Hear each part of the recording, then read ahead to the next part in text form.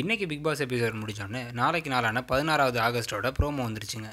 இந்த ப்ரோமோவில் பார்த்தீங்க அப்படின்னா வந்து ரைஸா பாத்திரம் கழுவிட்டு இருக்காங்க பக்கத்தில் வந்த வையாபுரி எதையோ தூக்கி எறிஞ்சு உடைக்கிறாரு. ரைஸா ஏற்கனவே வந்து கோவமாக இருந்தாங்க. இந்த டாஸ்க் பிடிக்கல அப்படின்ட்டு யாரு சேராமல் இருந்தாங்க. தூக்கம் கெட்டு போச்சுன்னு வேறு சொன்னாங்க. இதே சமயத்தில் வையாபுரியும் கடுப்பில் கத்திட்டே வந்து இங்கே யாருக்குமே இங்கே மனசாட்சி இல்லையான்னு கேட்டு கத்திட்டு இருக்காரு.